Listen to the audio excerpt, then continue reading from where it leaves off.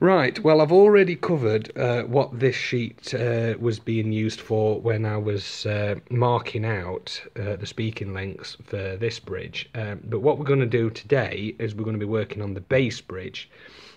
Now, something that you can't really take in, uh, appreciate with this sheet is that on the computer that this program was calculated from, it also shows up uh, the various tensions and breaking strains uh, of each individual note as well. And what it was showing is uh, on the bass bridge was that uh, it had too many uh, mono strings because on the bass bridge, bridge, obviously you've got monos up to a certain point, and then they cross over to bichords, and then when you go onto the treble bridge, you sometimes get a couple of bichords down here, and then you get three strings all the way up. Um, what it was showing us on the program was that there was uh, an indiscrepancy on how many uh, bichords, where the bichord stopped and changed over to monos. So what we're doing is we're extending how many monos are on this piano. Oh, sorry, how many bichords? Yeah, I'm getting it wrongly around. Phil's here. Luckily, Phil's here as well because Phil's going to be the one that's uh, doing this work today. Um, yeah, it had too many. That's right, it had too many monos in, so we're turning them to bichords. So we're doing that not by putting an extremely large pin in. That is so that we can plug the hole. We're, we're drilling down the original holes uh, far larger, and then we're plugging the holes, and uh, we're doing that with. There we go. We've got hammer shank made out of the same material as the bass bridge. Nail it so that it's a tight fit, and also because it's roughening up the uh, the wood so that it uh, gets a nice glue joint, and, and the glue will actually bind into the wood of the shank better. And then that goes down the hole. There we go. Then what this video is going to be, I'm going to have to do this video in three different stages actually, because uh, the first step is to do what we've just done just now.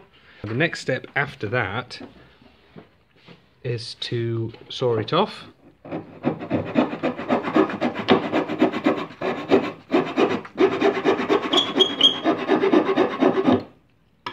Like so. Now when they are uh, fully dry, huh? Set. set. when they're fully set, they'll be sanded off and then we'll drill down so that there's two notes on either side. But I'll We're going to we're going to actually tidy this up because the, this is end grain and it's going in the wrong direction. So what we're going to do then is put an eight millimeter plug over the top like that, with the grain running in the right direction, but made out of beech, right, and that'll be at stage two. right. As you can see, I've not done this project before. I've not done this particular job before, so um, it's a it's a learning curve for me. This part. So um, that's the next step after this. So I'll come back down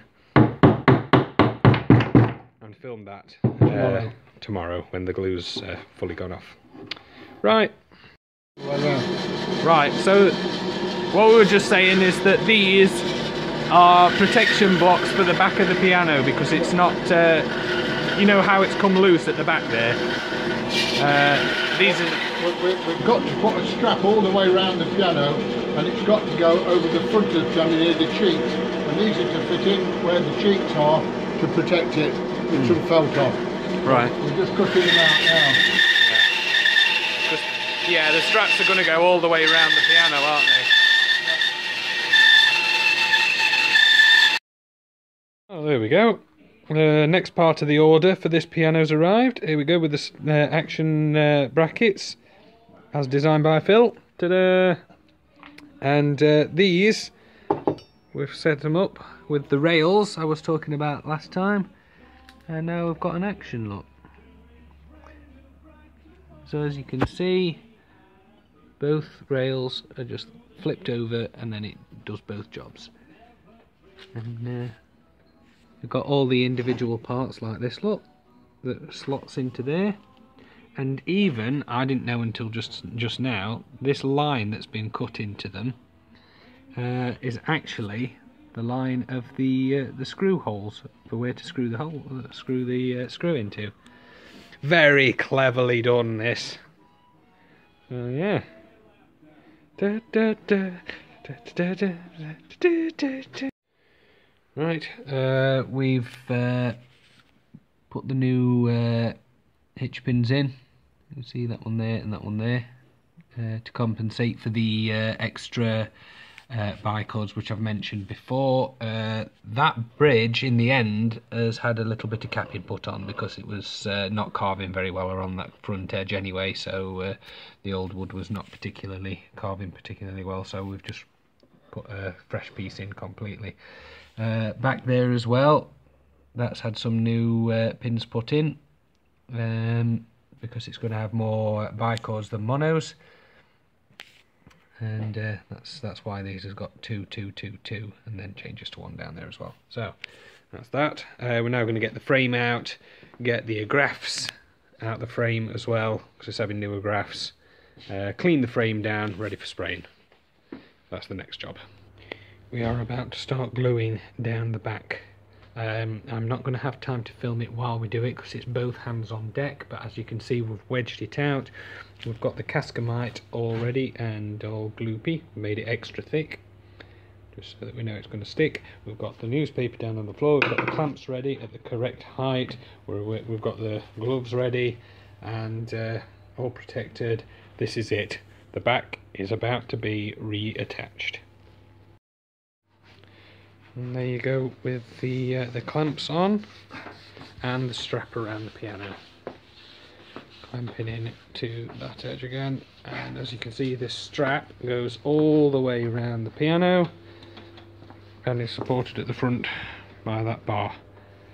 So it's all ratcheted up and that's what those uh, little cutouts are made for, to sit in there so that it's got a nice straight edge to clamp onto all the way around there and that's obviously bringing that edge back in.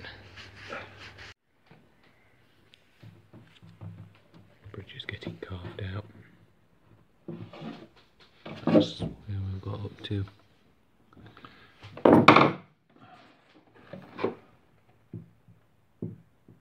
You've got to get halfway through the holes with the chisel.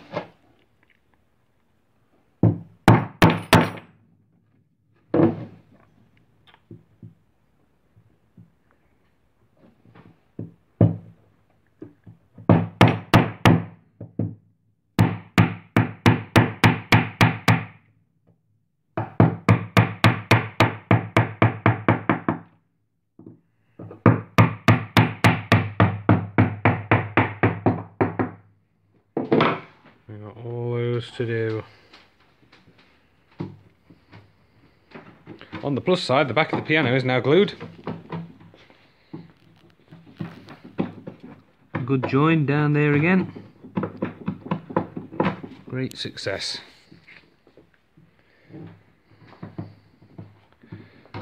And as for me, today, that's my job.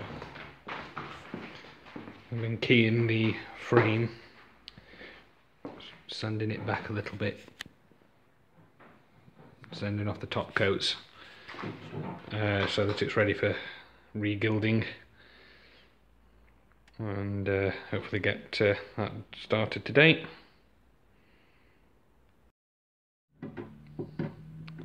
Looks proper like a bridge.